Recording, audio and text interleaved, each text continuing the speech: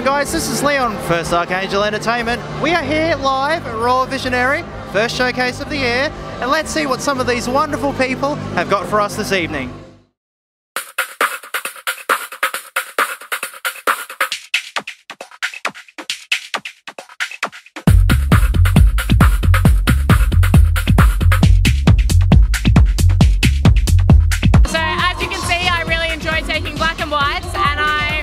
Like taking real photos. So I try to keep it in the moment. I don't really plan it. It's just what I see is what I shoot and I hope that something really good comes out at the end of the day.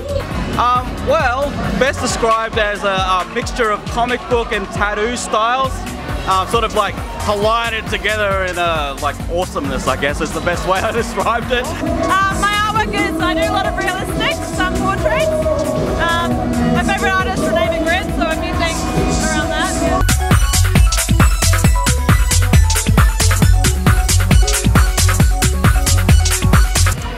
gosh, my artwork, it's definitely bold, colourful, there's loads of texture, um, there's lots of enthusiasm and it's lovely to see that being, yeah, represented. Nothing uh, too specific, whatever pops into my head as you can see. It's a bit of a mismatch of everything. Yeah, yeah. Just whatever I've thought in the past couple of weeks or so. I, I just become this different person. I go into a,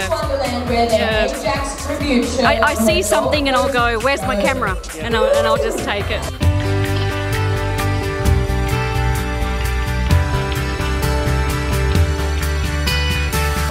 Uh, when I'm not doing this, I'm doing events uh, and performing and anything creative, really.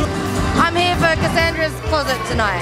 She uh, makes all sorts of things, so she's she's the go-to girl for costumes. Um, I suppose my inspiration with the mosaics that I do is around strong female characters and, and um, strong female role models, I suppose. Um, with my paintings, I use a, a substance called alcohol ink um, on Yupo, which is a polyblend paper. Um, I'm a Sun State Roller Girl uh, and I skate escaped Team Australia. Uh, we just came third in the World Cup. I'm here with uh, Avenging Angel Industries, so they've done my hair and makeup and I'm just checking everything out tonight. And yeah.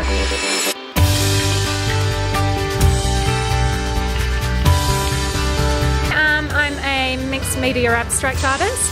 I get inspiration from everything. I'm self taught, so it's kind of just experimentation, nature, that kind of thing. Um, pretty much my main influences are like horror and the macabre kind of thing and also definitely western I'm not. I just really like the art. So Petalcore is branded as a gothic or alternative florist and the slogan for Petalcore is pretty but brutal. So I like to go towards the alternative, kind of quirky, out of the box sort of flowers. We've had so many wonderful artists. There's been live painting, we've had people creating amazing installation pieces. Definitely be as creative as you want with your displays. Do something eye catching, do something different. But of course, keep it to your style, something that'll showcase your work because that's just going to make people stand up and notice you even more.